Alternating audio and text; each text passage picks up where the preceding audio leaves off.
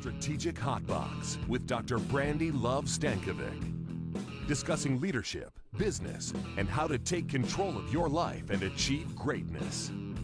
From the streets of Las Vegas, energized, informed, and never diluted. It's time to kick some ass. Welcome to the Strategic Hot Box. It's your girl, Dr. Brandi Stankovic, and we have a very special guest today coming to us all the way from Brazil. Gisele Gomes is going to join us here in just a second. We're going to talk about activating the youth. Let's get started.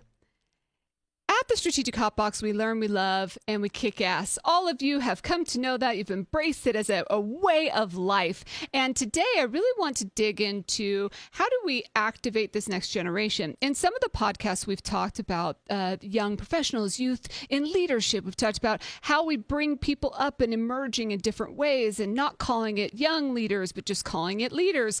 And all of those pieces are important. Now, how do we activate those individuals to drive their own growth.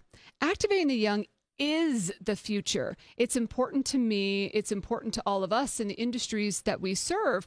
I've been fortunate enough to work in an industry, in the credit union industry, financial services, that inspires through social mission and social purpose and engagement in this next generation. And that isn't true everywhere, of course, but it, and it isn't true of all industries, but we do have that fortune working in a not for profit institution. And I think that social or or or any sort of mission driven engagement, any sort of activation of the youth is important inside the organization as well as externally. And what I mean by that is internally through employee engagement is so important and it's definitely a buzzword in business and leadership today. How do we recruit and retain top talent and and finding ways to do that with an authentic mission and purpose led initiatives. And even in my organization that we have now, and many organizations are instituting a VTO or volunteer time off and giving employees eight hours to go serve in any way that they think is right and giving them essentially that day of, of time to be able to go do that. And it does create volunteer opportunities and, and and giving and, and promoting that giving back. Externally, I mean, is more from like a consumer perspective and how are organizations activating their consumers. And we've talked about marketing and fundraising here on the podcast, but one of the organizations that I think does a really great job of this is Bombas Socks. They were on Shark Tank, and maybe you saw that. They've had done an excellent job of taking their social mission and, and really pushing it through. The name actually is derived from the Latin word for bumblebee, and bees, of course, live in a hive and work together to make the world a better place, to, to party hop or flower hop, right? And get all the pollen and then make delicious honey. They're also small, but their combined impact can be significant. And the, the mantra for the organization is be better and B E E better. That they put uh, it and they put that mantra inside every package or clothing item, anything that they do, so it carries through to their consumers. That it, they live true to that social mission. It's a really fun and relevant way to do so. I do have a guest, however, that's also doing this to the next level, and I really want to dig into how Gisele, how the organizations that she works with and for have been able to really engage the next generation as well as the community in being involved in that mission. She has a tremendous heart and is a believer in giving back and giving to those in need. And she is an expert in this area. So I'd like to formally introduce Gisele Gomes. Now, she studied international business at the University of Economics in Katowice in Poland. And she's got her, ba- but she also has a bachelor's degree in social scientists, so, social sciences from Uni Unisinos. I see I'm stumbling over the entire sentence in anticipation of saying a word that uh, is potentially of Portuguese root. So, bachelor's degree in social sciences from Unisinos in Brazil, master's in diversity and inclusion from FEVELI And she's also a professional coach. So it's a Brazilian Institute for Coaching and an International Coach Academy. So she runs a consultancy company on these areas of gender and intercultural sciences. And she's certified in gender balance from INSEAD, eh, from Singapore, actually. And of course, she's involved in a lot of things globally for credit unions, such as the World Council and WYCUP. She serves as a steering committee leader with me. And without further ado, please join me in welcoming Gisele. Hello. Hello, Brandi. How- so nice to be here with you. I'm so thankful that you're here. Where are you exactly in the enormous country of Brazil? Okay, I live in the south part of Brazil. Uh, it's Porto Alegre, the name of the city and we have a tremendous summertime here. It's really hot and it's really sunny. Oh, well, it's it's it's definitely not the summertime in North America, and so I would I'm dreaming of being with you in Brazil. Tell us. Okay, so I'm sharing my sun with you. yes, your sunshine is coming through. I love it. Tell us about you and your career and your progression in leadership. Okay, I run my own business here in Brazil. It is a consultancy firm on the areas of diversity and inclusion and also cross cultural movement. I have been an official uh, entrepreneur since uh, uh, 2014. Uh, but another day I was preparing my professional bio and I realized that I have been undertaking since I was 14 years old. Wow. I used to give private classes in my neighborhood. And then, and then I worked for 20 years as an employee in different areas and in different companies. But for me, something significant uh, from the professional and personal view uh, is to be part of the credit union movement. Uh, it has changed my life for better, for sure. And I have been in the industry for 11 years. Well, this is a small summary. Yeah. And to be honest, Brandi, this simple question sometimes it's, it's quite difficult for me, in which I have to summarize, right, myself. Um, another day I was reading Brené Brown, and she quoted Marci Alboher. She's an American uh, writer, and she wrote a book entitled One Person, uh, Multiple Careers and she charts um, a new path uh, to career satisfaction, uh, becoming a slash. So uh, with slashes, I can say I am woman, entrepreneur, speaker, student, and mother. I think this is something important.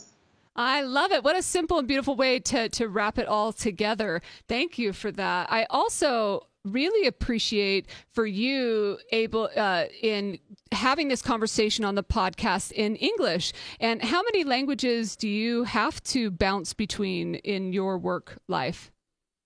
Well, um, I speak, I have to use English, as you know. Uh, my husband is from Mexico, so I learn uh, Spanish from him, and I also learn French and Portuguese. And Portuguese. Wow, that's amazing. So, what makes leaders and young leaders specifically special? Well, Brandi, I think their boundless energy and their fresh perspective. I think they also have incredible potential. They inspire hope for a better world, and I think they also makes us change our lenses uh, when we uh, are living with them, sometimes we have to change our lenses and try to see as they do. Sometimes it's not easy, right? Yeah, you're right. And I love that I the concept or metaphor of changing your lens because sometimes we can get wrapped up in our own perspective and forget the perspective or lens of others. Yes, that's true. What are some specific challenges that a young leader that you've had to overcome? I think, um, in my opinion, it is not easy to engage this new generation, but I see as well it as something good because, for example, this next generation they have to understand the value proposition and the purpose uh, of doing things uh, which makes us think about that as well. Uh, why am I doing this? The why questions uh, before the what, right? Mm-hmm. And for, for me, from my side, that I am from an older generation, uh, I think maybe we should help these young people, these young leaders, or just young, to build emotional intelligence. I know this is a topic that you work pretty good. I, I've heard some lectures from you. I've learned a lot from you. And I think maybe we should help them build this emotional intelligence. I don't know. Yeah, I do believe in emotional intelligence very much. And the more that we can help someone uh, begin to have the perspective to see that in themselves is so important. Are young leaders in Brazil different than other countries that you've experienced? Well, um, in some ways, I think yes, and others no. They're just young people. But thinking about a cross culture perspective, I see a lack of attitude in this young generation in general. But talking specifically about Brazil, we are a collectivist country, which means that people expect someone to take care of their needs and sometimes it means expecting someone to do things you should be doing. Well, in contrast uh, with United States, for example, an individualist uh, society, people are supposed to look after after them themselves. So sometimes I wonder if this cultural aspect affects uh, our young people. I'm not sure, okay, Brandy, but I think about that it concerns me as a leader and as a mother. And I think being a mother is also being a leader, right? Also a yes. Definitely. And I think that cultural component that you're noting is an important one. Yes, in the United States and some other countries, United Kingdom, maybe, for example, there's an individualism or individualistic perspective. And with that, there is that, that accountability or people want or think they're in control of driving their own success. And then with you know in in the Brazilian culture or in some other organizations that have that more collective piece, they are looking to the community, the support group. The gr- the good side of that is that you can rally the troops in a collective society a lot more potentially than a more competitive individual society or culture. Yeah, that's true, Brandi. That's true. And the the so why then in and and you've done a great job in activating or rallying the, the, the, the community in Brazil. Why should we engage in this next generation? Well, um, for example, I'm going to, to talk about a little bit about our model. Okay. Um, has a program in place called Youth Committees. It is designed for young people between the age of 18 and 35, and the main objective is to engage, attract, retain, and develop these young leaders. And I think it has to be with the sustainability of our industry, of the credit union movement. And within this program, uh, we built strategies to develop leadership in these young people which helps them in their personal and professional life. So I think it's good for them as individual individuals, but it's also good and necessary for the the credit unions, we have uh, to think about that, the sustainability of our movement. People are getting older and we need new perspectives and new people in our business, right? Mm-hmm. Um, has 500 young people involved directly into the program, and we had more than 10,000 young people impacted through training sessions, lectures, and social projects. Wow! And how long has the pro- the program been in place ha- to build that kind of success? Brandi, it has been in place for two two years and a half, more two years and a half, more or less.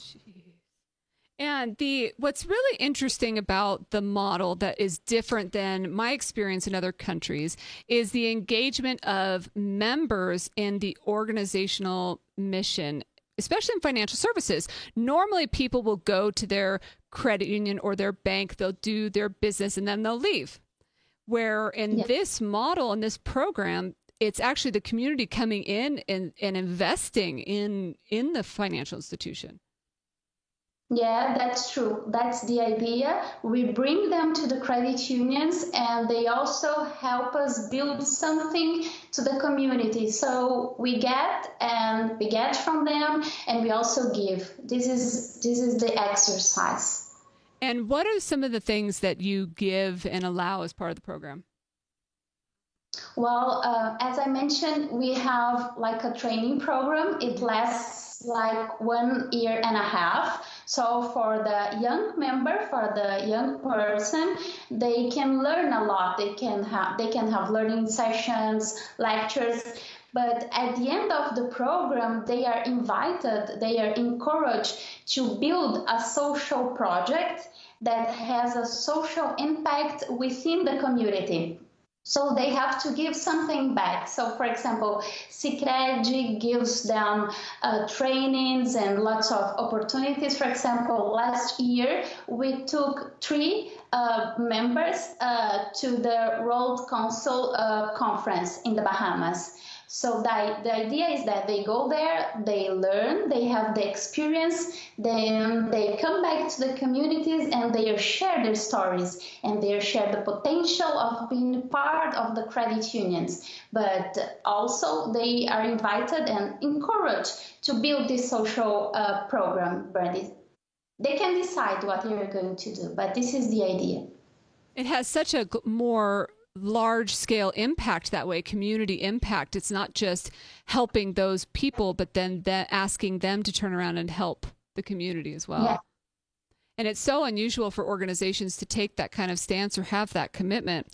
How what can people take away is that if so someone's listening and they want to potentially start something like this where do they start well, um, fortunately, next next week we are going to receive a group, and we are going to have a field engagement here uh, in Brazil, and we are going to share uh, our story. But I mean, if someone wants to activate their consumers or customers, I believe everybody should start with the why question and then move to the what question and I think we from the credit unions, we are really able to answer the why question mm-hmm. because mm-hmm. we have purpose.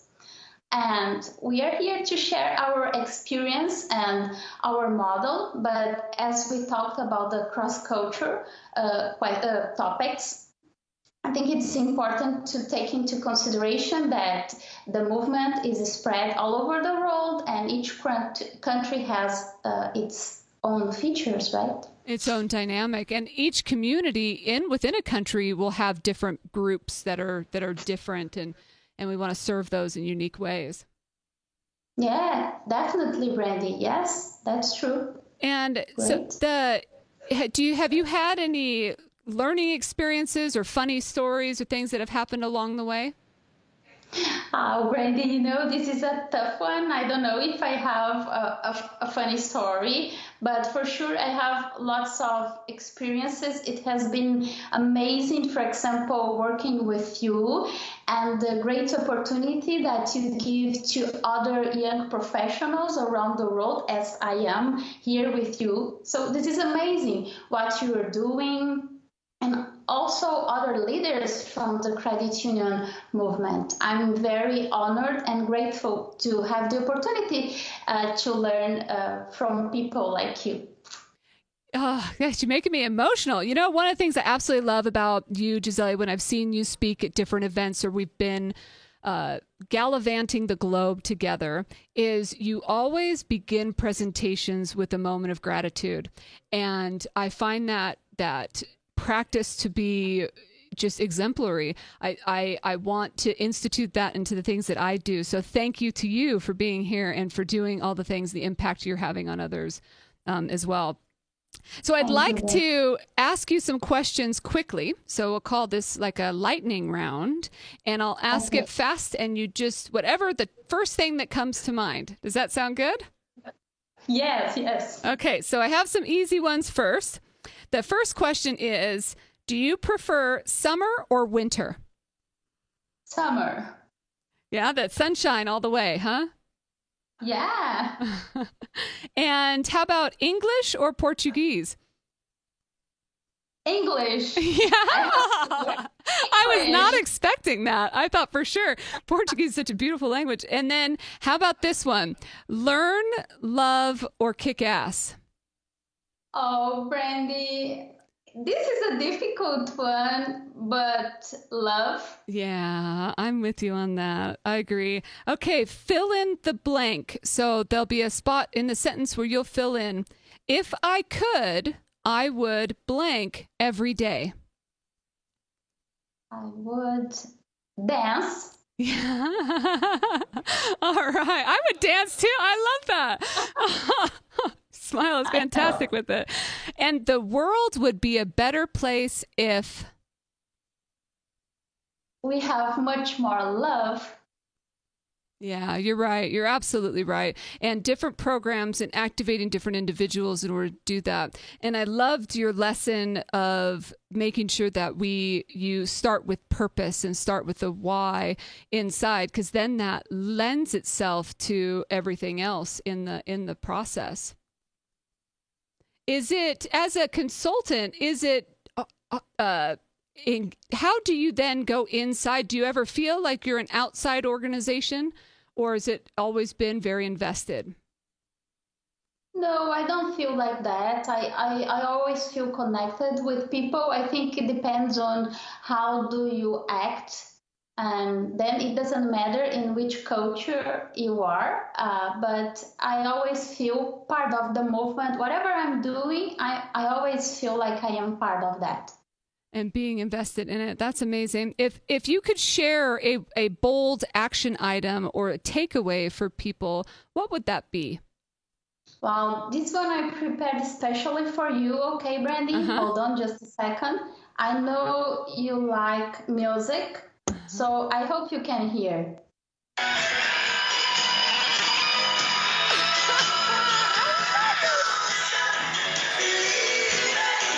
I think that's Yes, I did. I just hear Journey. Woo! That probably is one of the coolest moments uh, we've ever had. Thank you. I love that. So don't stop believing in yourself and in your power. Nothing can stop you. Definitely.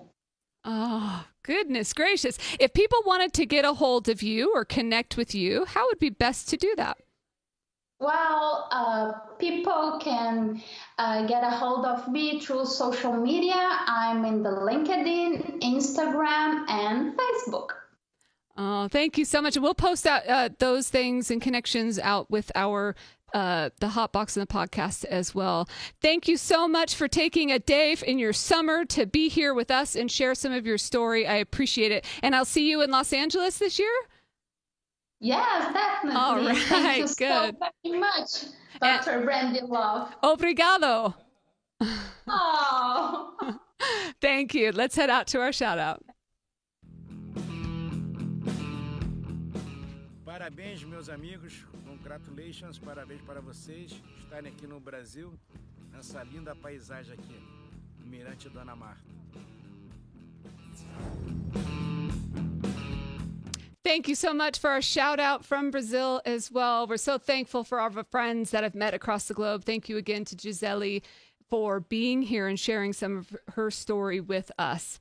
I want to bring it all down, boil it down, and talk about from a kick ass place what can we do today? So, if we want to engage, and several of us are wanting to engage the next generation. So, if you're listening to this and you're just trying to motivate your children to, to be the best that they can be, or if you listen to this and you're wanting to really engage the next generation in conversation, bring out the voices of the people that work for you and with you, how best to go about that. And we have three main things that I want to deliver and give to you today. So, when engaging and, attra- and activating young people first embrace authenticity.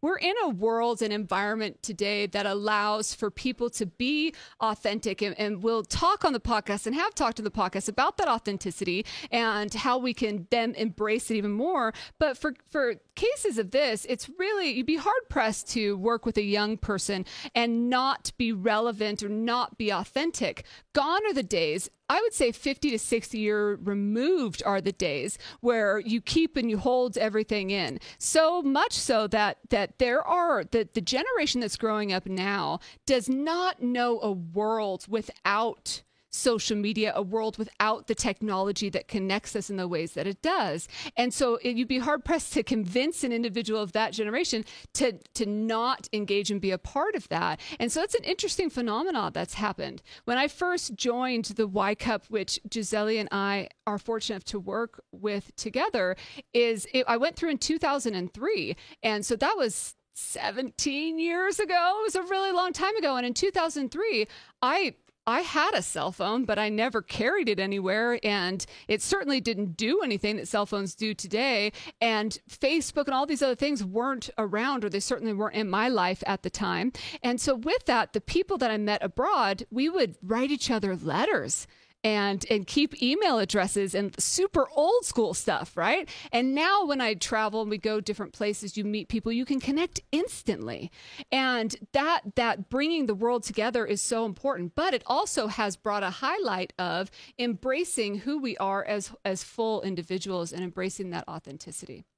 Number two is to utilize the digital. I led us into this in talking about social, but when it comes to activating, utilize the technology in the digital environment. And I, I may have shared this this metaphor as example here on the podcast before, but I look at it as you want to make sure that you're utilizing technology before it is redundant or no longer relevant. And what I mean by that is I like to say that my parents the, the, the clock on my parents' VCR still flashes.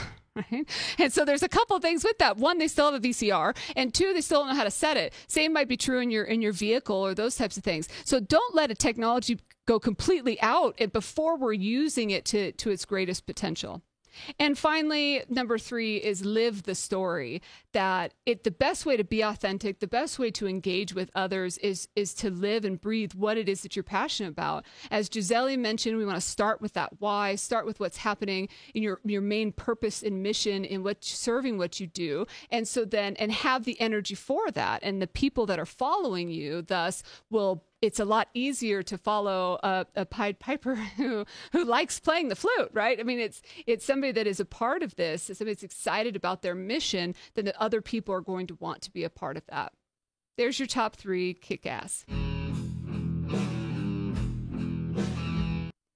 And I just want to share a couple final thoughts if I can. So if we're, I'm going to switch it up and just do a couple final thoughts if I can, Scott. Here, the main thing when it comes to the hot box is that the learn the love the kick ass is more than just our segments. It's more than just the mantra of the podcast. It is how the the progression that I think that we should all be doing. So whether you're activating the youth, whether you're having conversations in your organization, how are we learning? How are we then taking that learning and building those relationships? And then before you leave a meeting make sure that you have some action items. And so I think that can play out in all the things that we do, whether it's your personal brand or your own communication with others.